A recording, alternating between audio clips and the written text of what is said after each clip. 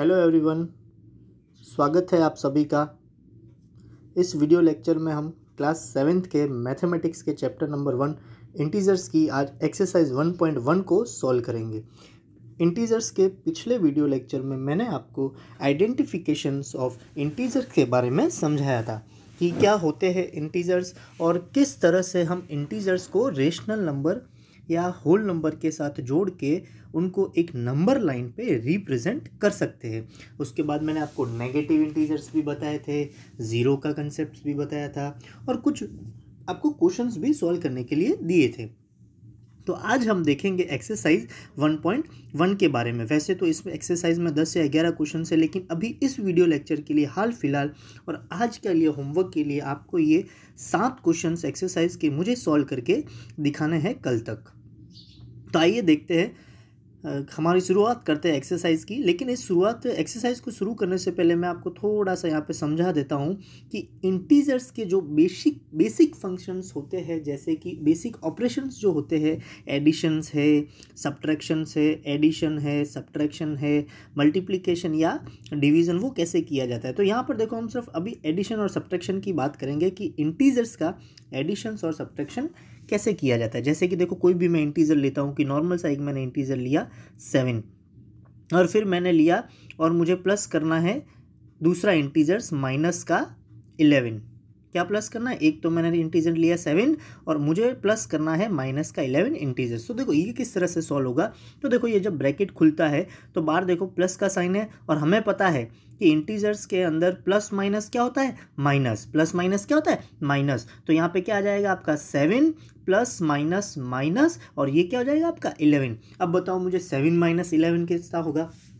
अब देखो, यहाँ पर भी इंटीजर्स का ही एक सब्ट्रैक्शन का रूल लग रहा है कि प्लस माइनस सेवन प्लस का है और माइनस का इलेवन है। प्लस माइनस क्या होता है? प्लस माइनस होता तो माइनस है, लेकिन साइन किसका आता है? ग्रेटर देन का। तो देखो इलेवन माइनस सेवन अगर मैं करूँगा तो कितना आ जाएगा वो? फोर और साइन किसका आएगा? इलेवन के आगे माइनस का है और सेवन के आगे प्लस का। बड़ा कौन है? इलेवन तो साइन किसका लग जाएगा हमारा? माइनस का। तो आपका आंसर क्या आया? माइनस का फोर इस तरह के, इस तरह से इंटीजर्स का प्लस माइनस होता है। देखो, और भी मैं आपको बताऊँ कि अगर एक एग्जांपल ले लूँ, माइनस का फोर और माइनस का सिक्स। अब बताओ मुझे क्या होगा इसका आंसर? देखो, दोनों चीज़ें माइनस में जब दोनों इंटीजर्स माइनस में हो तो माइनस और माइनस क्या होता है? होता प्लस है, लेकिन साइन नेगेटिव का, साइन माइनस का। जैसे कि देखो, दोनों माइनस है, सिक्स प्लस फोर।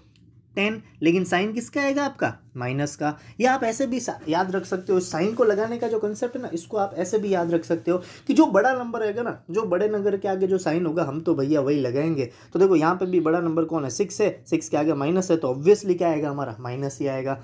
तो इस तरह से हम चीज़ें करते हैं। यानी कि प्लस माइनस क्या होता है? Plus minus minus minus plus क्या होता है? माइनस और अगर मैं आपको बोलूँ माइनस माइनस क्या बोलूँ?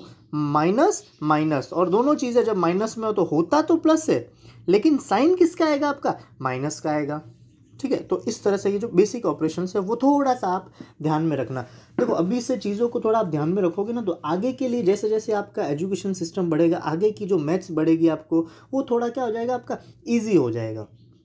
आइए देखते हैं क्वेश्चन नंबर फ़र्स्ट की हम शुरुआत करते हैं। बड़ा ही अच्छा क्वेश्चन दे रखा है। यहाँ पे एक नंबर लाइन दे रखी है और उस नंबर लाइन के ऊपर अलग अलग भारत के शहरों के चुनिंदा शहरों का तापमान वहाँ पे दर्शाया गया तापमान इन द सेंस टेम्परेचर तापमान से क्या मतलब है? टेम्परेचर अब देखो टेम्परेचर जब मापा जाता है ना तो टेम्परेचर को मापने की, देखो, कोई भी चीज़ जब मापी जाती है ना तो उसकी कुछ ना कुछ यूनिट होती है मैथमेटिक्स में या साइंस के अंदर। कोई भी चीज़ माप रहे हो। सिंपल सा उदाहरण दूँ मैं आपको कि मुझे अपनी एज एज या वॉट एवर मैं क्या बोल सकता हूँ? मुझे अपनी हाँ वेट मापना है। मुझे अपना क्या मापना है? वेट मापना है कि मेरा वज़न कितना है। तो देखो, मेरा वज़न मान लो कि फिफ्टी हो तो फिफ्टी क्या? फिफ्टी रुपीज़ फिफ्टी क्या? फिफ्टी फीट फिफ्टी क्या? तो कुछ तो होना चाहिए ना आगे, जिससे मुझे पता चले कि ये मेरा वज़न था।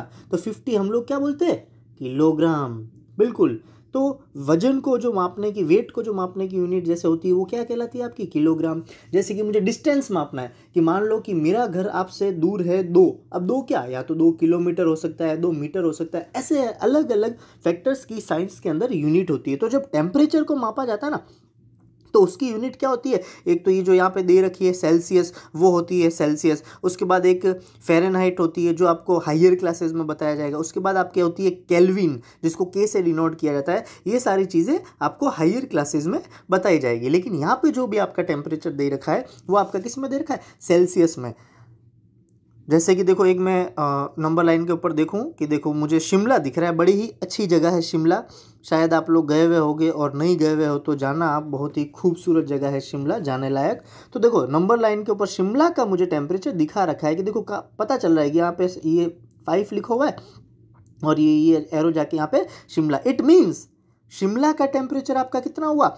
Five degree Celsius. ये बड़ा इजी था मेरे लिए क्योंकि ये बहुत सामने ही पड़ा था। लेकिन आपको बाकी सभी शहरों का, देखो यहाँ पे आपको बोल रहा है observe this number line and write the temperature of the places marked on it इस नंबर लाइन को ऑब्ज़र्व करो, देखो अच्छे से और आप इन शहरों का टेम्परेचर लिखो। जैसे कि देखो बेंगलोर की अगर मैं बात करूँ तो देखो बेंगलोर का टेम्परेचर कितना हो जाएगा? अब देखो, ये ज़ीरो से सब इस साइड में चल रहा है। देखो, ये आपका ज़ीरो और मैंने आपको पिछले लेक्चर में समझाया था कि ज़ीरो के जब हम राइट हैंड साइड में जाते हैं ज़ीरो के जब हम राइट हैंड साइड साइड में जाते हैं तो हमें सारी चीज़ें किसमें मिलती है? पॉजिटिव और अगर हम ज़ीरो के लेफ़्ट हैंड साइड में जाए तो हमें चीज़ें किसमें मिलती है? नेगेटिव में.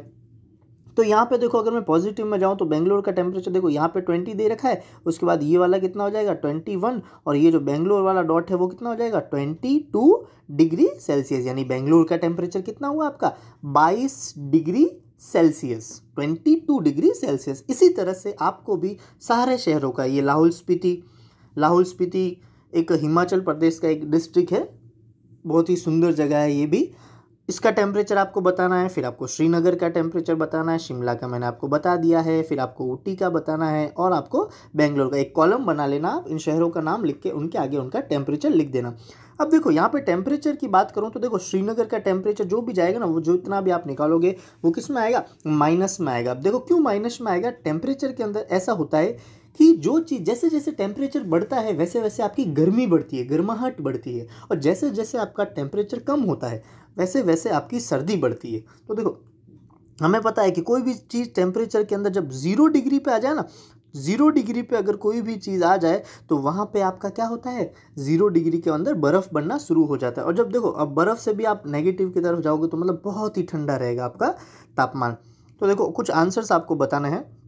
सेकेंड क्वेश्चन आपको सेवेंथ का क्या पूछ रहा है? What is the temperature difference between the hottest and the coldest plunge places among the above जो ऊपर का हॉटेस्ट और कोल्डेस्ट दे रखा है, देखो हॉटेस्ट और कोल्डेस्ट मेरा ग्रामर्थ मैंने थोड़ा सा यहाँ पे यूज़ किया और मैंने पता किया कि कोल्डेस्ट मतलब सबसे ठंडा।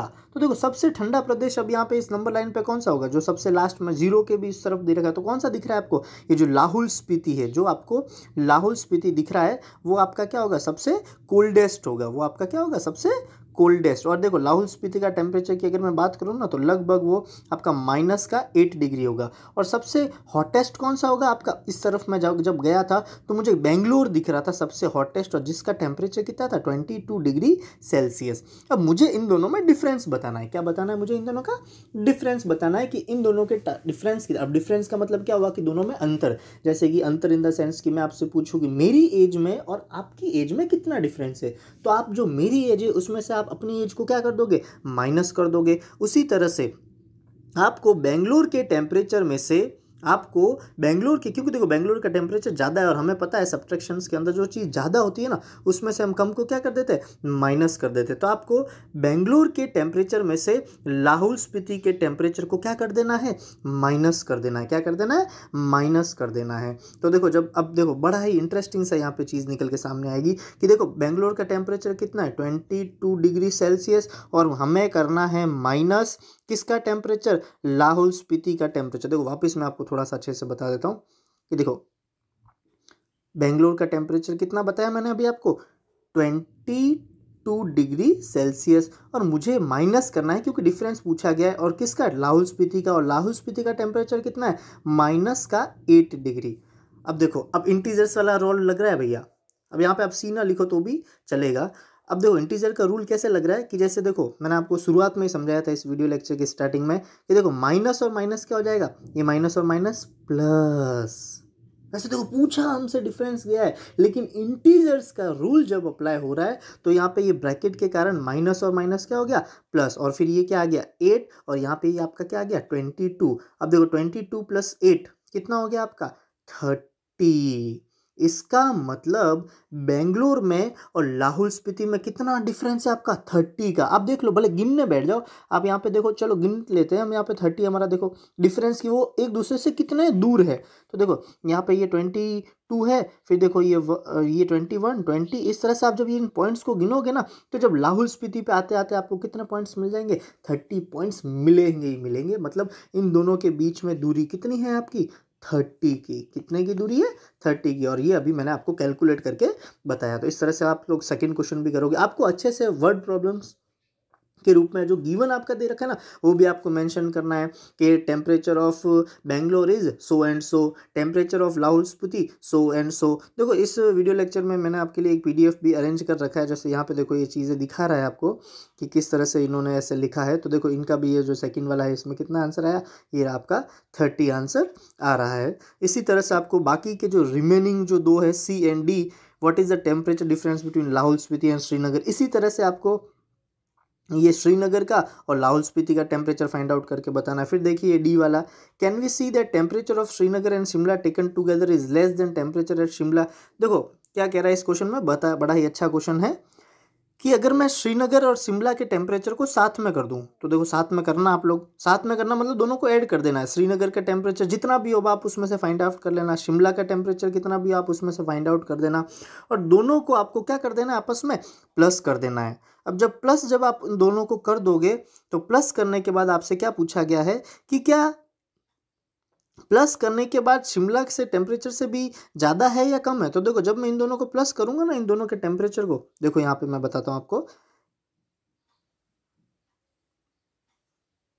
ये रहा आपका डी वाला the temperature of Srinagar and Shimla minus का टू और जब आपने इनको प्लस करोगे तो आपका कितना आंसर आएगा? थ्री डिग्री अब देखो शिमला का टेम्परेचर है फाइव डिग्री और हमारा साथ में करने से भी आंसर आ रहा है थ्री डिग्री तो बताओ, ज़्यादा कौन है? थ्री डिग्री या फाइव डिग्री हमें पता है प्लस में कोई दिक्कत नहीं है तो बड़ा कौन है? फाइव डिग्री तो शिमला तो हम क्या बोलेंगे?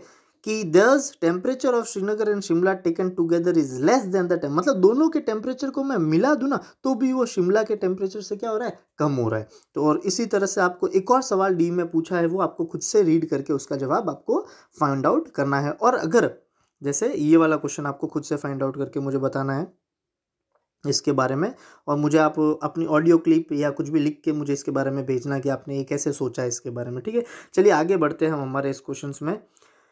और इसी तरह से आपको ये वर्ड प्रॉब्लम्स करनी है second third fourth fifth six अच्छे से लैंग्वेज के साथ। मैं आपको ओरली थोड़ा थोड़ा सा यहाँ पे बता देता हूँ।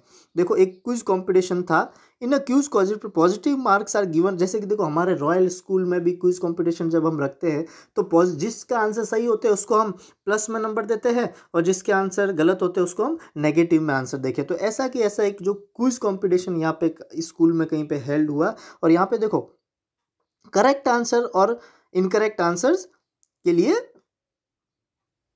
पॉजिटिव मार्क्स किसके लिए गए गए? वहाँ वही सिस्टम है कि पॉजिटिव मार्क्स दिए गए करेक्ट के लिए और इनकरेक्ट के लिए नेगेटिव मार्क्स जैसे कि अगर मान लो मैंने कोई गलत जवाब दिया तो मेरे माइनस फाइव हो गए या माइनस टेन हुए और ऐसा आप लोगों के, आप लोगों को अगर याद भी हो तो हम रॉयल स्कूल में ऐसा चलाते भी थे। सैटरडे सैटरडे आपके टेस्ट होते थे जिनमें आपको नेगेटिव मार्किंग दी जाती थी। तो यही सारी चीज़ें इसमें बताई गई है। देखो किस तरह से क्वेश्चन का बोल रहा है in a quiz competition positive marks are given for correct answer and negative marks are given for incorrect if Jack Jack नाम का कोई प्राणी है, जिसने फाइव सक्सेसिव राउंड में कितना स्कोर किया? ट्वेंटी फाइव फिर माइनस का ट्वेंटी फाइव फिर माइनस का ten fifteen and ten what was the total at this and पहले उसने पच्चीस स्कोर किया, फिर माइनस का फाइव स्कोर किया, फिर उसने माइनस का टेन स्कोर किया, फिर उसने प्लस का फिफ्टीन और फिर प्लस का टेन इस तरह से इसका स्कोर लिख दोगे आप और इन सबको लास्ट में आप क्या कर देना? टू बाई टू सॉल्व कर देना, जैसे कि ट्वेंटी फाइव में से फाइव गया, कितना बचा?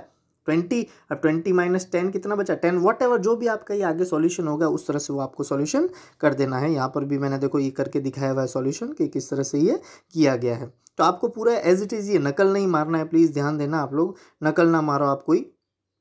फिर देखो आगे थर्ड क्वेश्चन वापस वही श्रीनगर वाला जो थर्ड क्वेश्चन के लिए आपको फ़र्स्ट क्वेश्चन आप देखना, आपको समझ में आ जाएगा। उसके बाद देखो fourth question a plane is flying at the height of fifteen thousand एक कोई प्लेन है जो five thousand metre above the sea level देखो, यहाँ पे एक सी लेवल दे रखा है और उससे पाँच हज़ार मीटर की ऊंचाई में एक प्लेन उड़ रहा है, ये रहा आपका plane at a particular point it is exactly above the submarine और एक जगह पे एक पानी के लेवल के नीचे एक सबमरीन जा रही है। सबमरीन जो पानी के अंदर चलती है, पानी पनडुब्बी जिसे हिंदी में बोला जाता है, जो पानी के अंदर चल रही है, एक पॉइंट पे दोनों का डिस्टेंस क्या था? सेम था मतलब एक दूसरे के अपोजिट थे मतलब एकदम ऊपर नीचे थे।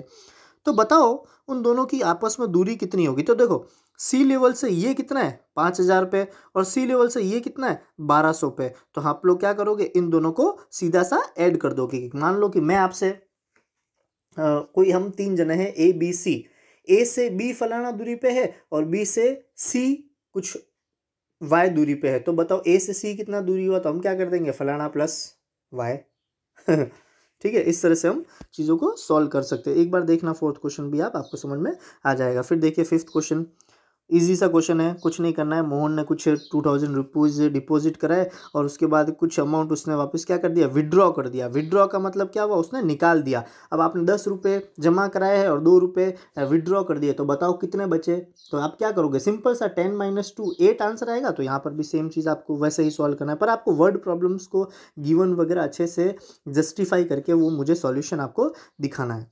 उसके बाद देखो सिक्स वाला क्वेश्चन सिक्स वाले क्वेश्चन में, Rita goes twenty kilometre towards east from point A. एक रीता नाम की प्राणी है जो ईस्ट में कितना गई? ट्वेंटी किलोमीटर पॉइंट बी तक। मतलब यहाँ से यहाँ तक ये जो चली, वो दूरी आपकी कितनी हुई? यहाँ से, एक सेकेंड यहाँ से ए से बी तक जब रीता चली तो कितना चली? ट्वेंटी।